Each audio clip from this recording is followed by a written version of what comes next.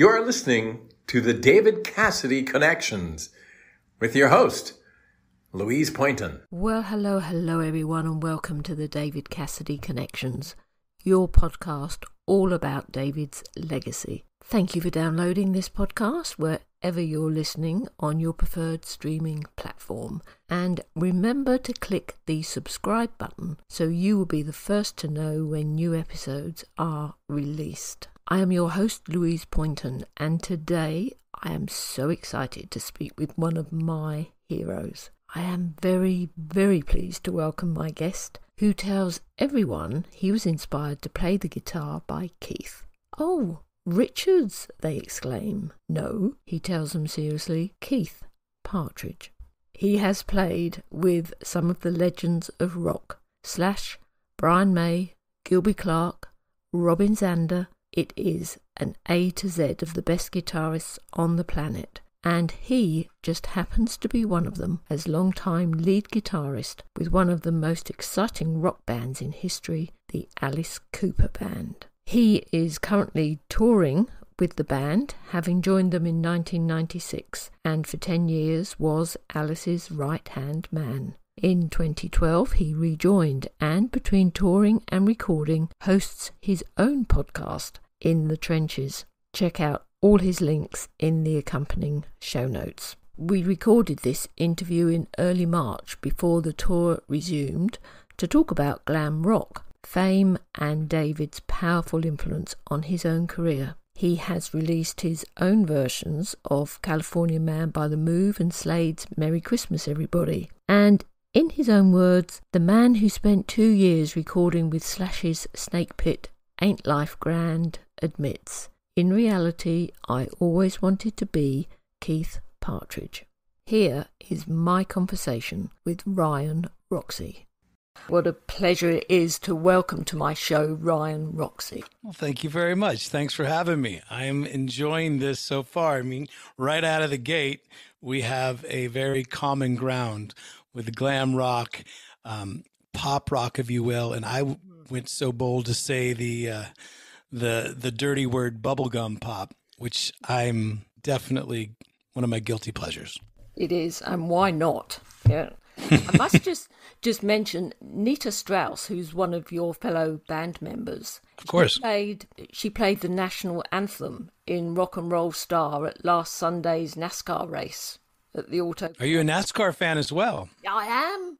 There you go. All right. Bubblegum and NASCAR. Yeah, she's she's really good at doing uh, those opening ceremonies now. She's been uh, she's been doing it for a few years now the on the circuit, but I think this might have been one of her first NASCAR events and um, but she got a lot of practice last year um, being the guitarist for the LA Rams who just won the Super Bowl. So we were all happy for her um, because hopefully she gets a Super Bowl ring out of it. Um, but we're all big football fans in the Alice Cooper group, and we're also very supportive of one another in the projects that we do. So good for her, and good for good for NASCAR, and good for uh, all of us. There's so many things we're going to talk about, including David Cassidy's influence on your career. Um, but what's it like to be back touring? And are you proud to be part of Alice's legacy? Absolutely. Yeah. I mean, it's one of those things every single night we know um, that we're sort of contributing a little bit to a, a rock and roll history, iconic legacy of an artist that's been around for so many decades. And every show that we do, and we do our best to um, give the best show off as possible, give the put the best show on. Um, Alice is our lead, so we just look up to him and we follow his lead, and he supports us when we go up and have our moments to shine. And the cool thing about it is, every single night we play, there's still, you know, a handful of people that have never seen Alice Cooper before. So we're their basic first you know, dive because they've heard about it. And oh, you've got to see, you know, either from a friend or a family member, you got to see Alice Cooper. You got to come and check it out. So for us, it's kind of cool to be ambassadors to uh, the whole world of Alice Cooper, and that's what they see. And uh, at this point, it's crazy, but I've actually witnessed four generations at a show. It used to be three generations. That was crazy. But now we've actually had a small kid and then his great grandfather coming to the show. So that was kind of a great four generational.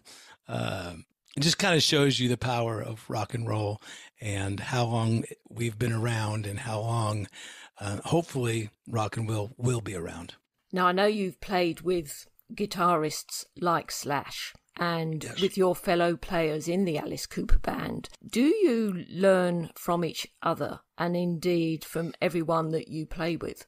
Yeah, I, I, absolutely. It's one of the things that I say in the guitar clinics and appearances that I do when I talk about um, learning how to play guitar, and if, and that you can draw something from anybody that you sit down with and play music with. It is a language. It's like talking, and you can really learn something from someone that might not be as advanced as you or be completely way above your pay grade and way above out of your league as far as playing wise. There's something to learn from both ends and someone that you're on par with because the way that they play guitar, the way that they play their instrument, that is their voice. So I'm always up for conversations with people as I'm up for conversations musically with musicians.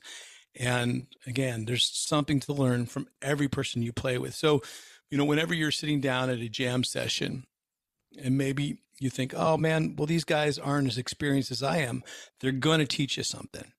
And then when you go to a jam session where perhaps musicians have way more experience than you, you have that right to sit at the table because you're going to show them something. You should know that. Now, your heroes growing up included Peter Frampton, and I think Absolutely. I'm right in saying that you dyed your hair purple because you thought that was his hair color. At one point, I dyed my hair almost every color that um, that's in the book at this point. Any color, every color that Manic Panic put out. I think there's a, a hair coloring from from New York City, and we love them. Um, but I had Fire Engine Red at one point. I had purple. I had uh, Billy Idol White. Um, one tour, Chuck and I both got mohawks in New York, so we had blonde mohawks at, at you know at one point in the tour. And then I actually had blonde dreadlocks. I had braids, orange braids, because when you're going from dark hair to blonde hair, there is that medium orange that uh, lasts for a while. And so basically, every single hairstyle and hair color I even had a perm growing up because you know it was the 70s and you know talking about T-Rex maybe there was a little bit of homage or you know looking up to um, T- to T-Rex with his curly hair as well as Peter Frampton on the album Frampton Comes Alive it seems that uh, not only is his hair purple it's kind of nice and cool stringy curly vibey which is the exact opposite of hair that I had. I had really thick. Yeah, I have Hispanic blood in me. Half of me does. So it's like this thick bush of hair and couldn't kind of maybe a little bit of a wave, but not wavy enough to be curly and too wavy to ever be really straight and thin. So, you know, I, I've been sort of, it took me years to accept, like, where am I with my hair mm. until then Motley Crue came out and they they taught us all about Aqua Net and uh, and uh, teasing your hair and flat ironing your hair. So between Motley Crue and Hanoi Rocks, I think those two bands taught me just as much about music as they did about you know hairstyling. I'd like to just start talking about Alice, who once described you as a Jimmy Page type player. Can you tell me the story about when you auditioned for for Alice? And something sure. something that you did that probably secured the deal for you. I think what I did, the best thing I could do was inherently be myself at the audition. Um, I did learn all the flashy parts that you're supposed to learn in going into the audition because Alice, you know, a lot of in his eras of music, especially the 80s eras, there's a lot of shredding involved. I had learned those parts, but what I was listening to at the audition is what made me change a little bit and say, Roxie, just go in there and be yourself. Because I could hear that song Poison where people were stumbling over that pre-chorus. It's a really beautifully written pre-chorus. Desmond Child and Alice Cooper um, co-wrote that song together, and it's a lot of chord changes in that pre-chorus. So everyone that I was listening to in the room next door, because we were in the sort of the holding room, the coffee room, and I was listening to the other players, and they were messing up that pre-chorus, but they were nailing the solo. So I was like, well, someone's already got the gig because they've nailed that shredding solo. What if I just go in there and just nail those chords? And I'm the only one that maybe does it perfect and doesn't even think about doing the solo, just play those rhythm chords. And that's basically what I did, as well as go in with the other songs that were more original Alice Cooper songs of the audition 18 and Billion Dollar Babies, which are classics. But those solos aren't as shredding as poison. So, for instance, 18 is very pentatonic based, and maybe that's where Alice um, gives me that great compliment of uh, any sort of page endorsement. That's great because we both are based out of the blues rock, and so many guitar players, almost every rock guitar player, every every one of my guitar heroes bases their uh, most of their solos out of the pentatonic blues. Um, so 18 is very E minory, pentatonic blues like you know esque. And that's exactly what i did for those uh for those solos. And hopefully well not hopefully um it it definitely worked the, the the trick worked and and the sort of audible call that i made that day um led to basically a promise of one year which now has turned into what I can't do the math, but we're we're we're nearing on 30 years. So that's pretty cool. So your other guitar heroes were the likes of Brian May, Keith Richards, uh, Rick Nielsen. Yep. Um, Those are all great ones, as well as some some unsung heroes that I have in there. Johnny Thunders, very rock and roll blues based um, guy, um, but with a pop edge, a pop feel to it. Um, Andy McCoy, great songwriter, great player from the band Hanoi Rocks. Uh, Pat Benatar's guitar player, Neil Giraldo, Pat Benatar's husband as well, but his, you know, her guitar player is Neil Giraldo. Love his parts. Um, Elliot Easton from the band called The Cars. Great albums and great solos. Every single one of them tells a story. And um, of course, Steve Stevens from the Billy Idol band. Big fan of his. And uh, again, I think we both obviously looked at those same album covers uh, growing up because um, even though he's a couple years my senior, but not much, I'm close behind him. Uh, we both have that big, big Aqua Net hair back in the 80s. And he still does. I, I wear hats now, but he, he's got, he still's got it. and then there was two years spent with Slash recording Ain't Laugh Grand in his Snake Pit, and, and I can't even say it this afternoon. Snake Pit Studios. Snake Pit. Yeah. What an experience. Say that five times and you'll see Slash's yeah. ghost. Um, yeah, it, that was an experience. It was it was definitely about as rock and roll circus and rock and roll carnival as you can get. It was a circus every single day going to his place because that's where we would rehearse and he had snakes. He had piranhas in the in, his um, aquarium. Um, he had a big dinosaur, not an actual dinosaur, but a dinosaur fountain. We had a full. I mean, I'm talking about all the sort of uh, temptations that were there. Full uh, half court, full pool, Olympic sized pool, uh, ba- basketball court, uh, Jägermeister on tap. Guinness on tap, but then a full functioning 24 track recording studio, which we would record and write every single day for for years. You know, we made that album uh, three different times, I would say. So um, I think it finally came out right. I think uh, our last version with Jack Douglas producing it, who has such a rich history in producing rock and roll, all the great Aerosmith records, even produced some great Alice Cooper records uh, with Muscle of Love. And of course, worked with great John Lennon.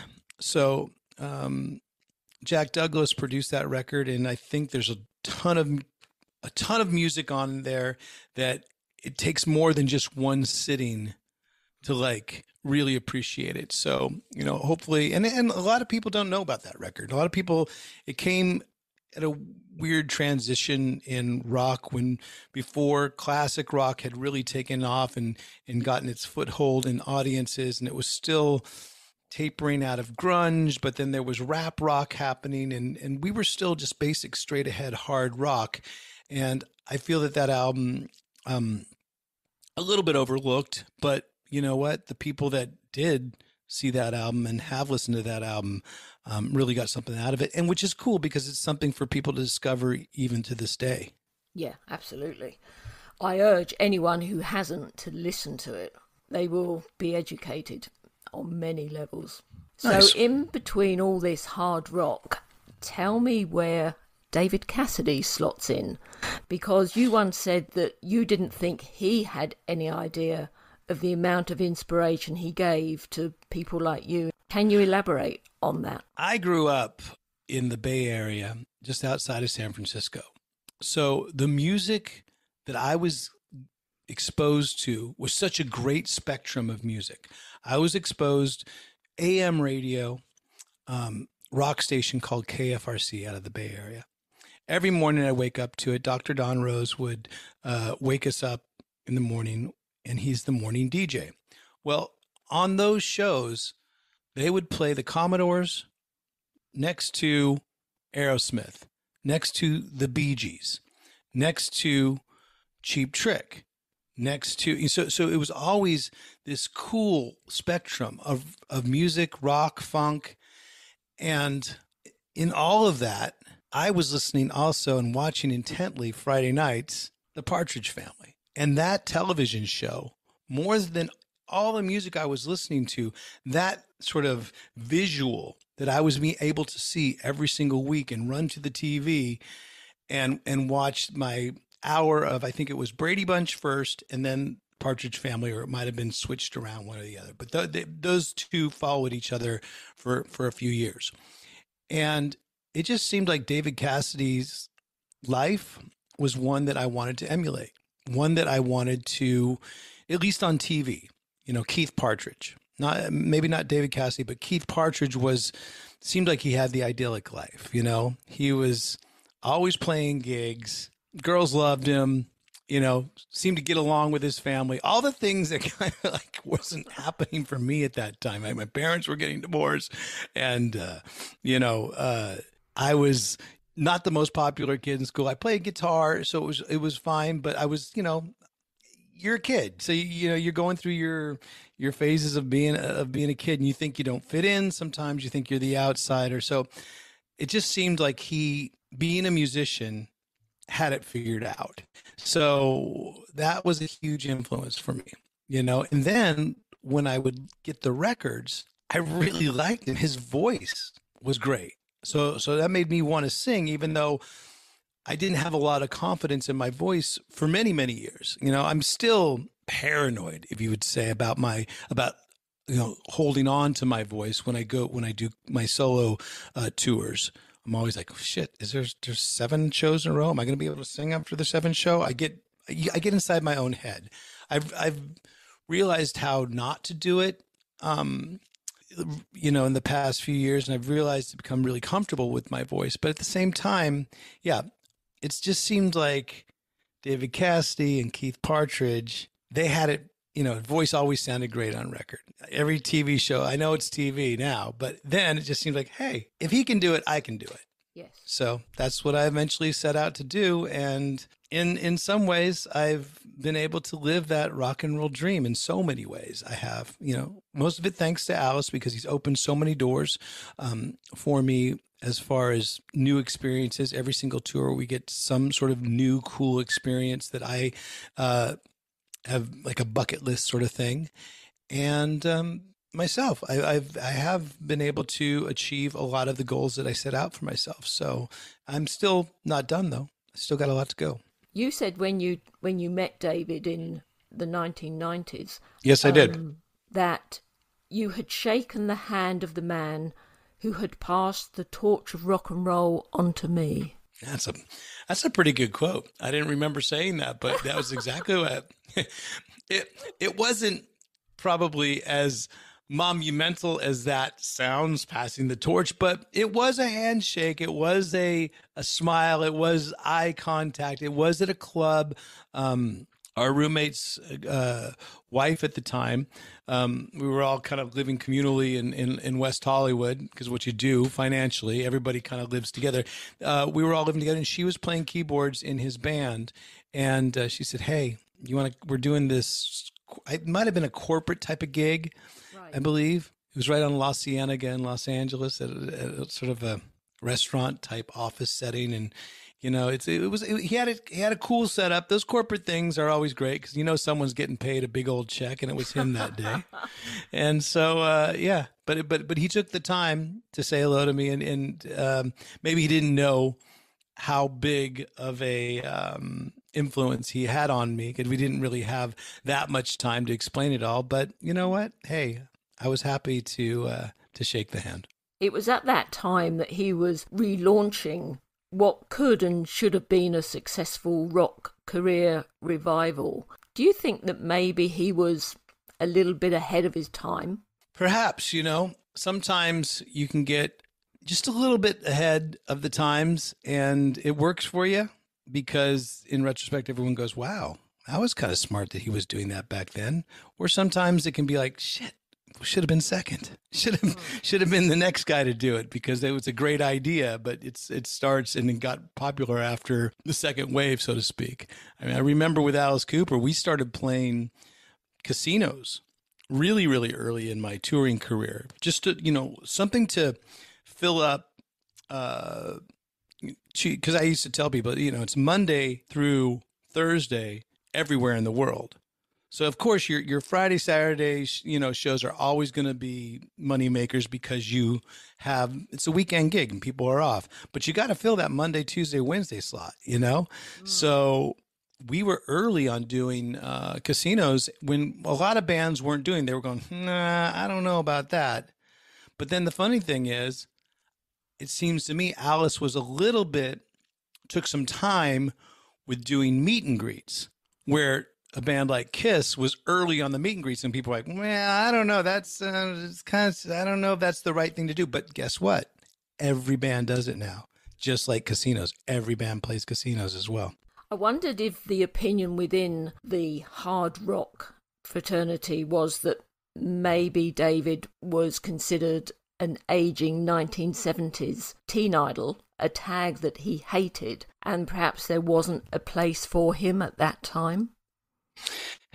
It's too bad because I I would have obviously never thought about that because to me, you know, David was rock and roll. He was always rock and roll. Um, yeah, he was good looking rock and roll singer, but there was a lot of great looking rock and roll singers uh, from the 70s. So um, the tag teen idol, I, I, can see where where he might not like it, but in some ways, maybe could have leaned into it a little bit more and then and then show yourself with a live band that you do rock and that you, that you do belong and have a seat at the table. You know it's uh, it's hard to to say but you know i know that if i was playing in david's band back in those days i would have done my best to make it a rock show. He had the appearance of being beautiful and got criticised for the way he looked.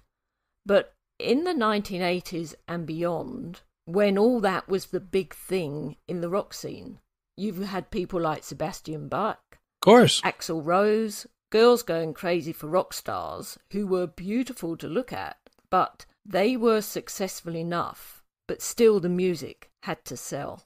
Yeah. Maybe part of the it was the double-edged sword was that the thing that got you so popular is the thing that caused this sort of question mark amongst whatever people that say they're credible um you know critics or whatever is yeah. the TV show you know because he wasn't David Cassidy on the TV show he was a role Keith Partridge well yeah but his personality his songs his demeanor he, he was just the only thing different was the name. He was being himself on camera, I can imagine.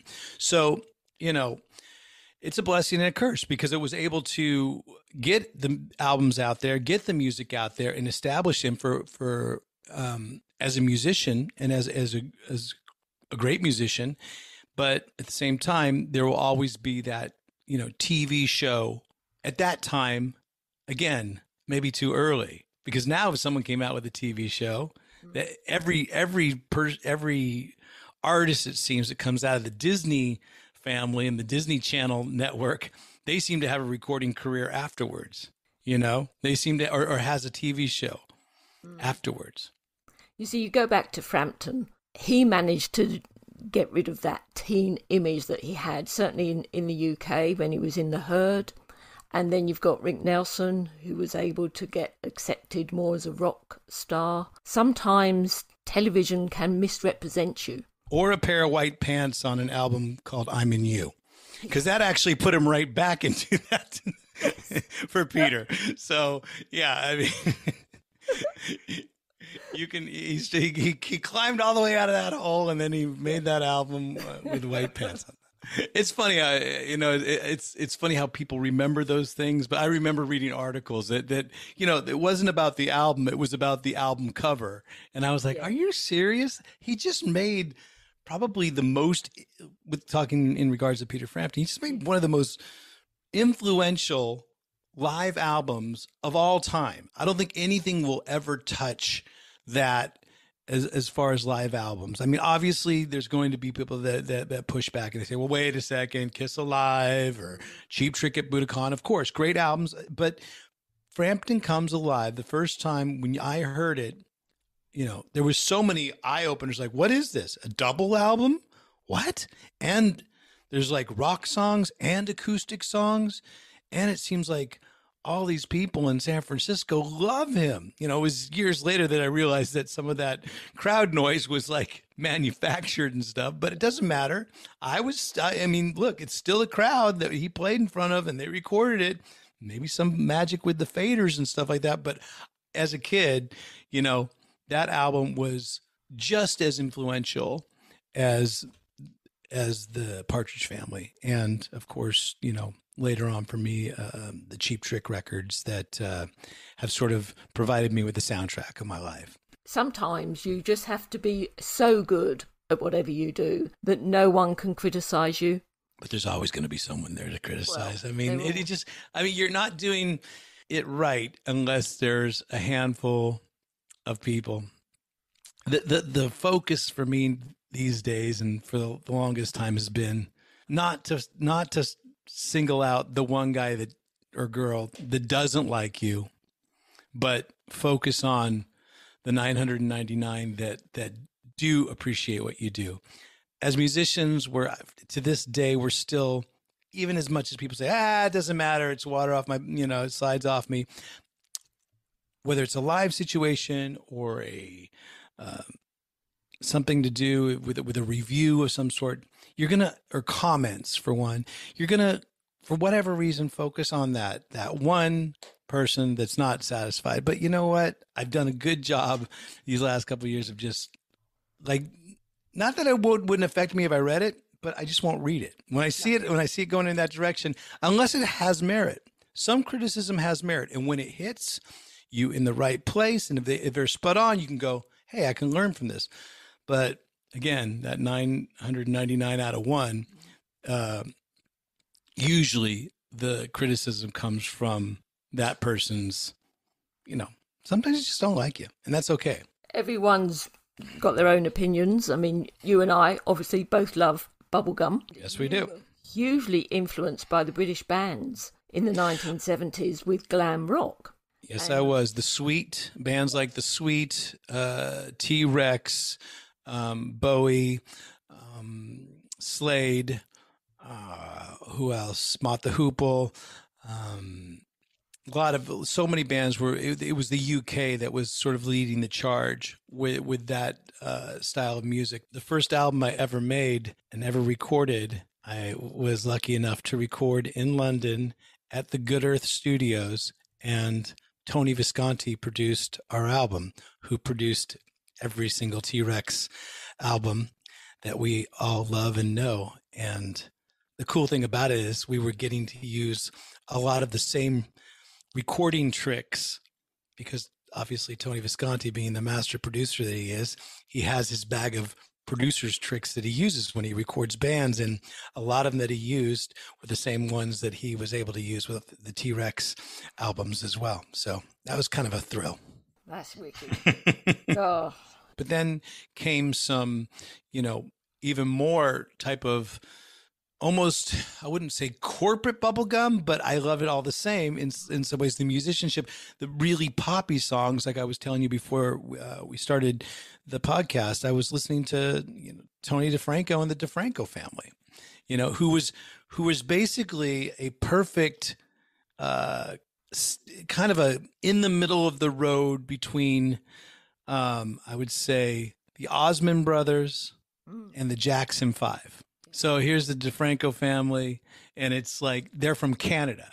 And I didn't. I always thought that you know Italians, the DeFranco family, they're from New York, of course. You know, growing up as a kid, no, they're from Canada.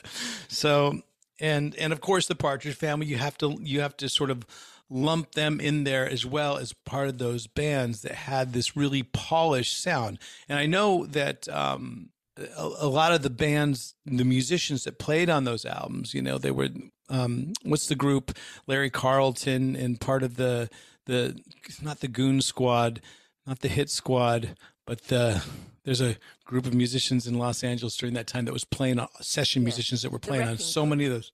The Wrecking Crew, that's what it was. Yeah, and um, you got to appreciate those musicians because they made records that basically influenced me, inspired me to go all the way with music and go all in on music. When you won your first guitar award, you played Puppy Love, didn't you? Puppy Love. That's right. I mean, I, I, was way too young to to you know sing it, but I played it on acoustic guitar. I was like, you know, I think it was, think I was about maybe maybe eight years old, maybe yes. even younger. Yeah, Puppy Love. I oh, remember oh, it. Goodness. I mean, I even had the Jimmy Osmond solo album, oh, no, Rubber Ball, bouncing back to you. I know that. you know, the thing is about the Osmond brothers, if you listen to Crazy Horses, which is like an amazing hard rock album, people don't give it eh, the credit that it deserves. But there's one of the Osmond brothers, I forget who it is, but it sounds exactly like Axl Rose. It must have been Merrill. Okay. Yes. Yeah. Had like a screechy type of Axl Rose type of voice. And I was like, man, that's that's amazing. As well as, you know, the the, the backgrounds, not the Osmond brothers so much, but there was a band that I, I grew up in the same Bay Area as a band called Jellyfish. And Jellyfish, their backgrounds very much like the Partridge Family, very much like David Cassidy and and those types of albums. So quite cool. I mean, his voice, I mean, David's voice, Axl Rose, unique voices. That's true. That is true. You mentioned The Sweet just now being one of your favourite bands. When you get artists like David Cassidy and Brian Connolly, who both hated the bubblegum market, which they were pushed into, they're basically banned from, from being themselves. How damaging can that be because the Sweet emerged as a serious rock band once all the bubblegum um, fanzine material had, had, had gone by? You know, their B sides always had their own compositions on. That's true. But then again, you know, that's the whole thing. What had established them? What had allowed them to to get their original stuff out to the mainstream audience was those covers that that broke open the gates at first. So you can't I mean, I never disparage. I try not to disparage. Never say never. Try not try my best not to disparage the the breaks that I've gotten and where I've I've come from. Um, I've been very lucky enough in my own career to play to play with like credible names, guys like Alice Cooper, um, guys like Slash, and in that and in the pop sort of world making that Tal Bachman record that I did with that with that song She's So High. That was you know is you know he comes from rock and roll pedigree with Randy Bachman as his dad and Bachman Turner Overdrive. So there's a lot of credibility there. Now if for instance if if I would have broken uh, my music career through something that maybe didn't have as much credibility, I'd still have to pay homage to the breaks that it gave me. Like the band that I came out of and we all came out of. And again, it does have a bit of credibility, but it's a definite bubblegum metal band, if you will, was the band called Candy. And that's where I came from. That's where Gilby Clarke came from. Uh, John Schubert, Jonathan Daniel. We, I mean, we were all together as Candy when they first began. When Candy first began, they were a definite bubblegum band. Bands like the Raspberries, bands the Archies, even at one point, and Partridge Family thrown in there for good measure, were all influences. But they were playing in front of bands like Wasp and Ratt and you know he- just heavier bands. That's exactly the way that Candy was for me in Los Angeles. I joined I joined more almost like this episode of the Brady Bunch, the Johnny Bravo episode. Um, I think it's Peter Brady gets the gig because he fits the suit. It's the Johnny Bravo episode. I know it because, again, it came on right before Partridge Family. So I got the gig for Candy because I kind of fit the suit. I had black hair, you know, a lot of hairspray. But we were playing and doing shows with much heavier bands. We were playing shows with Jane's Addiction, Guns N' Roses, Faster Pussycat. So these were all a bit heavier, but we came from that pop area. But I always wanted to make my guitars loud and thrashy. And I kept doing that. And what became Candy became um, Electric Angels. And what became Electric Angels, what came back to jamming with Gilby Clarke uh, and doing his solo album. And what came from jamming with Gilby Clarke and the solo album was obviously getting to hang out with the Guns N' Roses guys, eventually meeting Slash, also the break with Alice Cooper. So all those things came from this very power pop uh, type of band. It's funny if you say power pop, it doesn't sound as uh, it doesn't sound as campy as bubblegum, but it's the same sort of thing. And I and I love I love power pop bands and you know, I love bubblegum as you know. Alice once said he did not know of a single human being for whom fame has brought them anything but suffering and pain. Can you tell me about your relationship with fame? Did you always want to be famous? I definitely wanted to make a living, see the world, and doing it playing music. So I've definitely gotten the upper end of the stick on that one. Um, the massive fame that Alice has that he's talking of, and he deals with it really well. It's a hard road, I would think, when it gets to be that um, claustrophobic.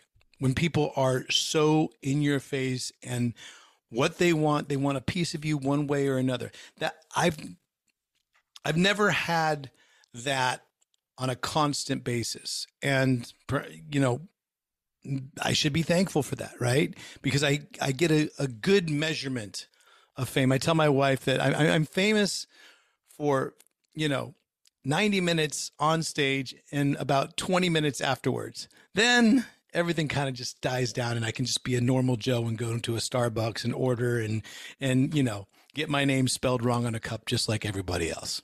But the thing is, Alice can't because wherever he goes, he's so recognizable. Guys I've played with, Slash, he can't. Everybody recognizes him, and it's not like, "Hey, how you doing? Love your music," and move on. It's, "Hey, let me tell you a story about how your music has changed my life. Do you have a half an hour to sit down? Or wait a second, let's just take a picture first. Wait a second, let me get, let me call my friends because they they're not going to believe that you're here, and then it becomes a thing, and so I can see where that can be um, it can be hard, but it's obviously part of the deal that you choose. You know, it's it's it's it's the it's not a consequence. It's just what mm. goes along with fame. If if you are lucky enough to um, get to that level where basically financially you're set. See, um, for me, it's like, yeah, I, I'm I need to do this next tour. Yes, I'm going to need to tour for a few more years, yeah. and I'm happy to do that. And I love being in the trenches. I love being on tour because that's all I, I'll I pretty much have known for so many many years. I'm good with that, and if I can retire and, and, and walk away from this game and have a nice life, hey, I'm happy about it. But um, it's not like I'm someone that doesn't even ever have to think about working again. Whereas some of the people that I played with, they're at that point and it's cool, but then that leaves other challenges for them. Like what do they have to do that challenges them? That's I admire Alice for, you know, every year continuing to tour, every single um, few years make an album, and every single, you know, other year do something that he hasn't done with in his career, whether it's commercials or the radio show. You know, I look at all those things that he does as sort of a benchmark. Like, huh, good idea. Maybe I should do. It. He's had his his TV sh- or his um, radio show now. What for almost fifteen years, something like that, going on that. Well, you know what? I have had my podcast now for a good two years. So, and it's and it's rolling along. It's rolling along, and I and enjoy that. But it's like, hey, just always challenge yourself and uh, keep setting goals for yourself. I think that's the best way to uh, to beat any sort of fame ghouls. If there if there are is there is such a thing. Yeah. Now your mother was a drummer in the school marching band, and your father played the trumpet in a military band. So I assume it was only going to be right that you would end up in a band of some description. Um, your guitar teacher once told your mother, and you overheard a conversation where he said, Oh, he will never make a guitar player. Mm, that that's something? true. That did happen. Yeah, a German guy, and I was taking group lessons. It wasn't uh, one-on-one lessons too. So he said it loud enough, I think, so that not just my mom, but a few people in the class uh, could hear it too. And I was supposed to be walking out the door, but I definitely heard it. And in many ways, sometimes a negative i can you can turn it into a positive almost like a rally cry like i'm going to show this guy but um i do i do find it funny because he did say that made me work harder and then luckily you know not through that comment but through a lot of other uh lucky breaks and hard work i was able to establish myself and uh, get to where i'm at today. My first guitar teacher, though, Steve Phillips. See, I don't remember. I just know angry German guitar teacher told me I couldn't play. But my first guitar teacher, Steve Phillips, private lessons, he's the one that taught me, you know, Partridge Family songs. He's the one that taught me Peter Frampton songs. I still remember him teaching me Plain Shame. Do you feel like we do? So, you know, and I still know his name, and he was in a band himself. So Steve Phillips, wherever you are, uh, know that you have just as much influence as David Cassidy. The influence of David Cassidy and that music, it was dismissed at the time as bubblegum and because he was promoted as this perfect all American boy. But the music itself had so much more substance. Do you listen to it now and continually hear different things about it? I was listening to it yesterday. You know, it came after I had my um I'm t- I can tell you right now, look at this. I have my um YouTube uh thing on. I was listening to that album yesterday and uh it was uh Love is all that I ever needed. What is it? Love is all that I ever yeah. Such such great musician. You know, the, yeah, that, that was the part that was the Sound Magazine album. But um it had I woke up in love this morning. I, it, it just happened to be on this playlist when I was walking around um, town yesterday. And one of the exercises I'm doing right now is uh, treating myself to sort of a a little guilty pleasure of my own. What is it? Well, walk around with headphones on, walk around the city that you love, and uh, listen to some listen to a whole album. So I was able to listen to the whole album yesterday. So that was kind of cool. So you've done covers of The Moves' California Man, a real yes, rocking version of Merry Christmas Everybody, Slade's mm-hmm. anthem. Have you ever thought about doing a Partridge Family cover? Well, oddly enough, my roommate my first roommate that I ever had in Los Angeles, Johnny Holiday, plays in a band called Star Star, and um, oh, they've had to change their name now. What is it? Um, Star Star has become. If you look at for Johnny Holiday, you'll you'll uh, you'll see him.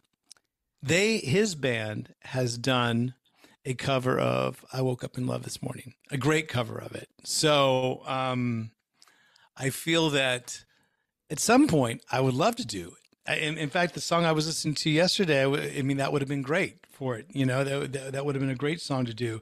You know, love is all that I ever needed, right? That's a great song to cover, but um, we'll see because again, uh, my my buddy has um, has done Johnny Holiday and Weeds have put together a really good version of I Woke Up in Love this morning. How familiar are you with David's solo work? I, I, definitely had the album cover Cherish as one of my sort of go to study, try and copy the hairstyle type of um, of albums, you know. He had kind of a little bit like my hair. Maybe it was a little bit. Uh, he was either easier to feather, but he was the first guy that said, "Hey, maybe I, if I get the feathered look and I just, you know, use the comb from in my instead of in my back pocket, I use it on my head. Yeah, that'll work." How do you define success? Um, being able to do what you want to do on a monthly, yearly, decade basis, um, enjoying what you do and not having to um, worry about what you're going to order on the menu when you go out to eat. Does that sound okay? I, I mean, I mean, and if you could do that, if you uh, if you could always go out to eat if you wanted to, and not worry about okay, maybe I shouldn't order that today, you know, and it's just been recently and it's and it's more of a state of mind i believe than it is actual financial freedom because i think you can always order whatever you want. It's just a lot of times as musicians we have this feeling of scarcity instead of abundance. Mm. And when we live under this and not just musicians probably a lot of people do if we can shift that just a little bit something as small as ordering exactly what the hell you want to order on on a menu or you know not think about if you like that shirt not think about oh well maybe i can get it for cheaper at the when it goes on sale in 6 months when it's out of style. Maybe i can do that. No if you can just spend the extra $20 extra $50 now you can get, if you can get your mind to do that i think you're on the road to success. Because you're thinking, you're giving yourself, um, you're saying, you're saying to yourself that you are worth it and you are successful, even if it doesn't, you know, equate to millions in the bank. It doesn't have to be millions in the bank. It's more of a state of mind. So that's why I say, you know, my, my definition of success might not have to do with the size of mansion or how many cars you own because I've seen really unhappy people that own fleets of cars. I've also seen very happy people that own, you know, helicopters and hel- and, and helipads, which is great. And and I'm I'm happy for people that have that success, that financial success, but it doesn't always equate to happiness being financially well off. Is that something that you tell your students through your System 12 guitar method? I wonder if you've got a moment to just explain the importance sure. and how you are now passing the torch to the next generation. yeah, I, I, put together, um, along with a really cool team of, of guys and gals. Uh, you met Federico before the show, and, and we have a team together. We call it the RGA, the Roxie Guitar Army, RGA. And we put together, um, actually, we're working on it a little bit before the pandemic hit in 2020, but it was really good timing in that sense where we rushed it to put it out because we knew that at that time there was a lot of people at home climbing the walls wanting to do something wanting to learn something and they had the time. So we put together a guitar course that i think is the most comprehensive easy to learn well um, constructed way of showing you all the basics of guitar and how to get from you know, zero to playing 12 songs in a matter of 12 weeks. That's why it's called System 12. A lot of things revolve around the number 12. For instance, in music, you know, with notes, for instance, A, B, C, D, E, F, G, with their sharps and flats, everything in music, unless you get into all these weird semitones and bitones and um, Indian flavored type of music, in conventional Western music, there is 12 notes. That's it. So if you can memorize those 12 notes, if you can count from 1 to 12 and your ABCs, A until the letter G, I can teach you how to play guitar and I can teach you how to play songs and we can teach you um,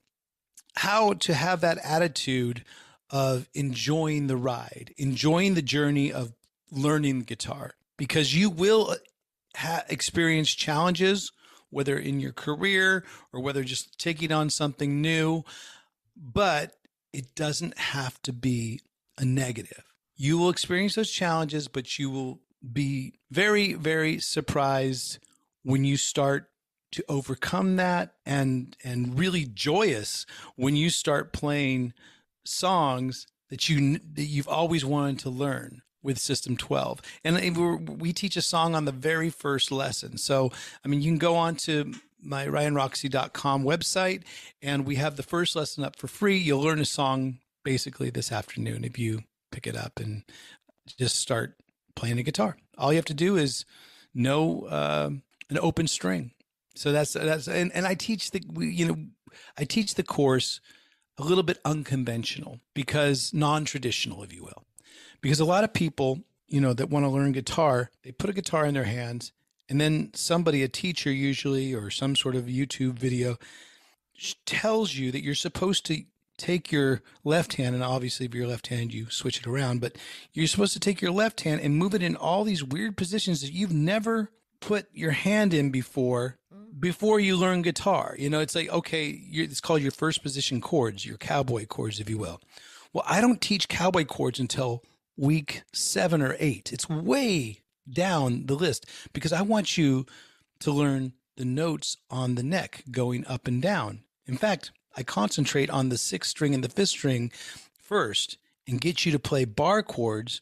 Once you know your bar chords, the names of them, where they are on the guitar neck, you can play any song ever written. That's Beatles, that's Led Zeppelin, Alice Cooper, especially David Cassidy. Wow because you can learn School's Out in just one afternoon, can't you?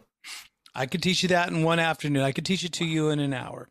Um, and I and we do have that as one of the songs in one of the lessons that, that's in System 12. So it's one of those things. Uh, if you're interested in learning it, learning an instrument, which I think everybody should do, it's it's really good therapy. It's good way to spend your time, and it's rewarding. It, it's just it's just self reward that you get. It's um, just go by uh, ryanroxie.com or or go on my Instagram, which is just at Ryan Roxie, and send me a DM because that's the thing. Everybody on the team, on the RGA team, is very uh, supportive of one another.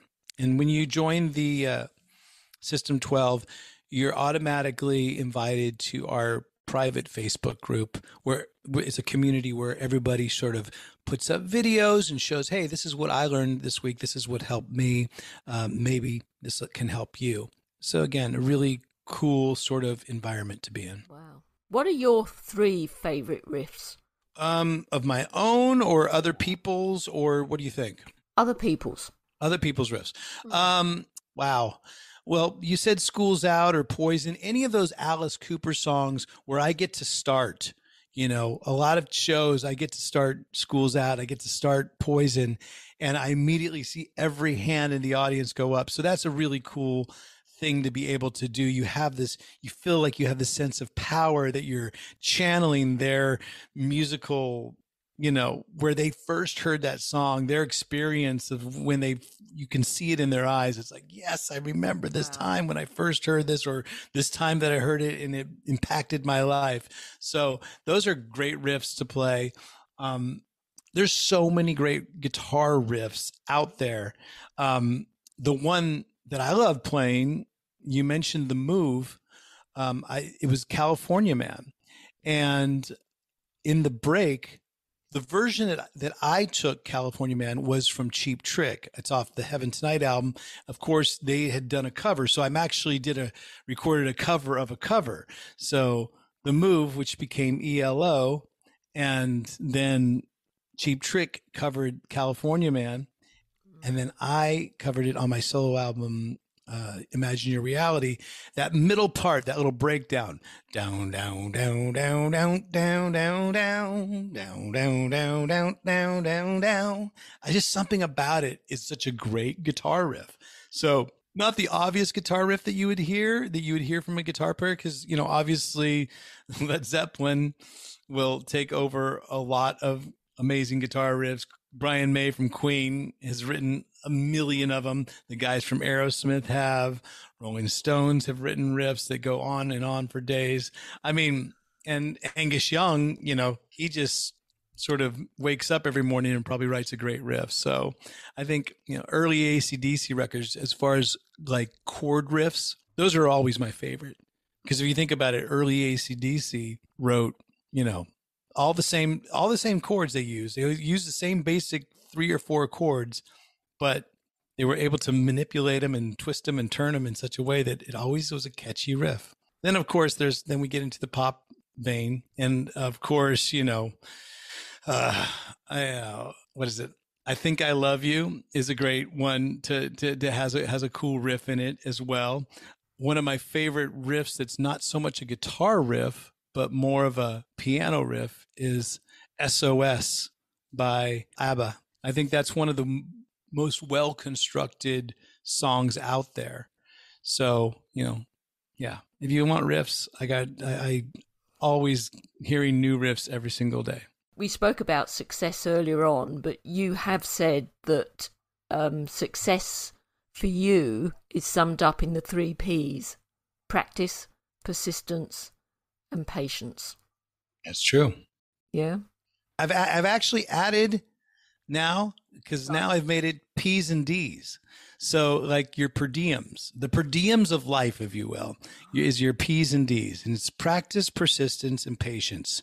Now I go into the three P's a lot when I on my TED talk. So if you're interested in me going to them in detail, you can go check out my uh, official YouTube channel where I have the TED talk that I was able to do um, just a while back. So yeah, practice, persistence, and patience. But then I've added these D's, the three D's as well. And that is desi- desire, discipline, and determination. Sort of similar, but three other nice, helpful words where if you think about it, you know, you have to have the desire. You have to set goals for yourself. You need to desire things, or at least, you know, turn them into goals, not wishing, desiring because you want to attain them. And then you have to have that discipline, which is just like, you know, practice and uh, encompasses all those three P's. And then uh, determination, which is basically everything in life is determination. Do you have to pinch yourself sometimes and think, wow, this is my life now? How lucky am I?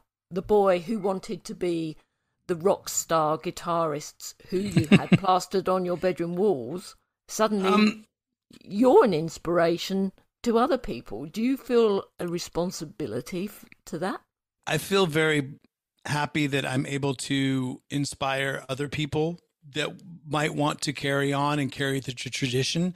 That's why I always say about passing the torch of rock on to the next generation. And it was, I was happy that you said, you know, that's what I'm doing with System 12, um, is passing my knowledge on to the next generation. Um, it's not that I pinch myself, and it's not that I ne- there never goes a day where I'm not thankful and I and I think about it, but I'm also um I wouldn't say I ever expected it, but I do believe that if you are determined to do something, it will eventually happen. It will eventually happen. The hardest thing for most of us, and I have this problem as well, is when you set goals for yourself, sometimes you don't complete it because you didn't have that patience. You didn't have the patience because it will happen. If you set it out there, it will, but the work does have to go into it. So there's been things where, you know, I have started and haven't finished, and that's okay. Wasn't the right window or door for me at that time.